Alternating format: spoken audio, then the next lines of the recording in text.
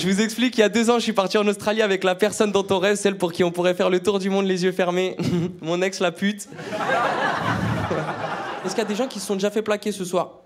Non, ok. Très bien. Très bien, Tarmac, ok. J'ai le public que je mérite en 2020, c'est-à-dire un public de faux cul. Tarmac, en 2020, vous êtes un public qu'on ne plaque pas Très très bien, très très bien, très très bien. Mais moi, je me suis fait plaquer, je vais être le fragile devant vous ce soir, je me suis fait plaquer. Et mon problème, c'est pas le plaquage, euh, les, les gens. Mon problème, euh, c'est le lieu. Je vous ai parlé de l'Australie. Bande de bâtards. L'Australie, c'est 1500 euros de billets d'avion, 24 heures de vol, 3 escales, une valise de perdu pour qu'elle arrive toute mignonne et qu'elle me regarde et qu'elle me dise, en descendant à Sydney de l'avion, bah tu sais bébé, en fait je suis pas trop sûr de mes sentiments, hein. Comment vous dire Tarmac, j'aurais tellement préféré qu'elle soit pas sûre à Paris J'étais très amoureux d'elle, on est resté 10 ans, tu vois, pour certains mecs ça paraît une peine de prison, mais moi j'étais très amoureux d'elle et euh, je suis resté 10 ans avec elle et pour vous dire, des fois j'étais tellement amoureux d'elle que j'avais l'impression d'être hypnotisé par elle et elle arrivait à me faire croire n'importe quoi. Elle avait même réussi à me faire croire, messieurs, dames, qu'avant de faire l'amour dans les préliminaires, il y avait la vaisselle et le ménage.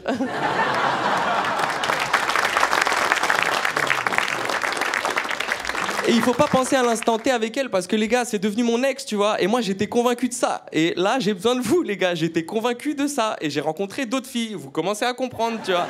Et il y a une fille avec qui ça a super bien matché. Je t'explique, c'est que ça s'est super bien passé et on a ken toute la nuit toute la nuit. C'était un délire, c'était incroyable. Et moi, le matin, tu vois, j'étais trop heureux, tu vois, ça s'était super bien passé. Je vais la voir et tu sais, je la vois dans la cuisine.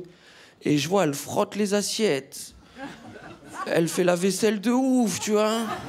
Et moi, je la regarde, je lui dis, waouh, tu veux encore? Espèce de coquine, va. Elle me chauffait de ouf, tu vois. Et donc, moi, tu connais, gars, j'ai direct sorti l'aspirateur, frère.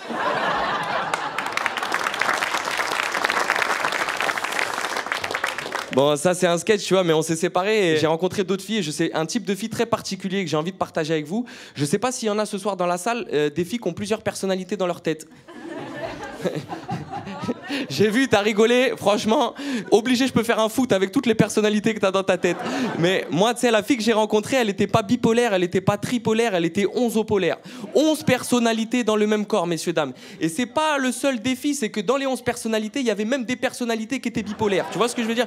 Donc c'était très compliqué pour moi, c'était très compliqué. Et c'est pas le pire, tu vois, c'est que si les 11 personnalités, c'était des 11 meufs euh, toutes mignonnes, tu vois, ça irait. Je me dirais, bon, tu vois, tranquille. Mais je vous ai pas dit, la onzième personnalité, c'est un personnage de secret de jeu vidéo. Il s'appelle Tony, il fait du free fight dans sa tête.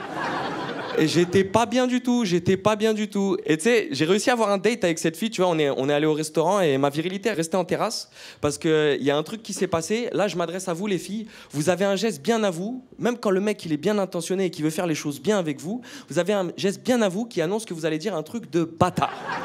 Ça veut dire, il y a des filles, elles cheap, il y a des filles, elles font le coup de sourcil. Moi, la fille que j'avais, elle était curlière et elle faisait ça, tu vois. Ben.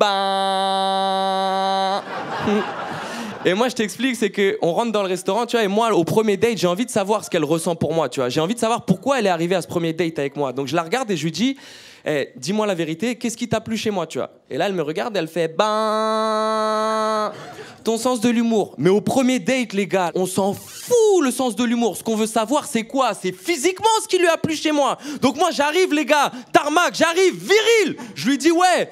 Qu'est-ce qui t'a plu? Physiquement? Et elle me regarde et je te jure, sereine, elle arrive et elle me fait Ben non, je te jure, t'es physiquement drôle, wesh.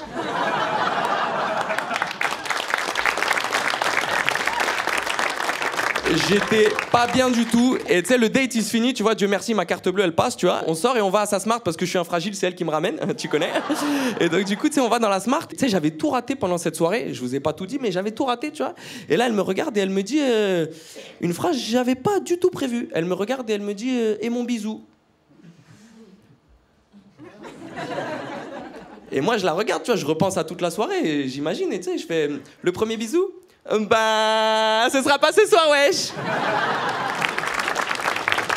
Et je finis toujours mes passages, j'écris un spectacle sur les femmes parce que les femmes, je vous comprends pas du tout, tu vois. Et un homme, il faut savoir qu'un homme, il peut aussi avoir le cœur brisé. Et c'est ce qui m'est arrivé. Et quand un homme, il a le cœur brisé, oh, c'était tellement mytho. Et en vrai, c'est un homme, quand il a le cœur brisé, il va souvent voir la femme qui compte le plus à ses yeux, c'est-à-dire sa mère. Je suis allé voir ma mère et je lui ai dit Maman, est-ce que tu penses qu'un jour je vais trouver l'amour? Et ma mère, elle m'a dit Mon fils, tu trouveras pas l'amour, c'est l'amour qui va te trouver et il faudra que cette femme, elle te donne les mêmes émotions à chaque fois quand tu montes sur scène. En attendant, je l'ai toujours pas trouvé, mais tarmac, je vous jure, j'ai pris un kiff de ouf à jouer devant vous. Merci beaucoup.